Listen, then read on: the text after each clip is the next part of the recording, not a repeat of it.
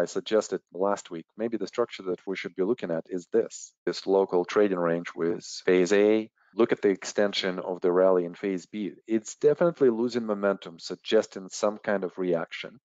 And we've discussed how on this bar, supply has come in for the first time, but it's still holding. And on this bar, we said, that's it. We are done. We are going into reaction and we are expecting reaction to come to this support level.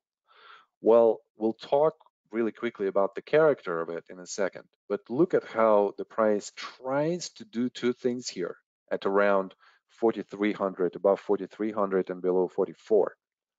First, it tries to touch the support, but it doesn't. Not only that, the actual close is up there. So look at how much space it didn't really close into that gap. Is this an element of strength or is this an element of weakness? Obviously, strength. And then the second thing, if you think in terms of the Wyckoff structure and Wyckoff label and phase A, phase B, then could it be potential phase C? What would we see in phase C?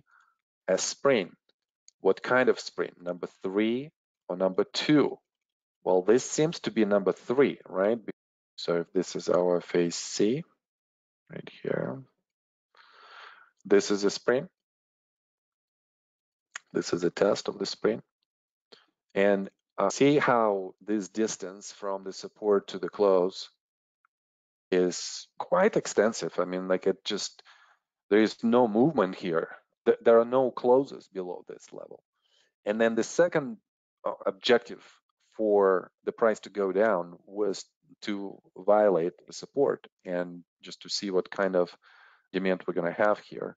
And right away, there is no commitment below the support. The tail on the intraday basis uh, is not extending too much. The close is in the upper part of the spread, and it just behaves like a spring and behind that also a slight increase in the demand. Uh,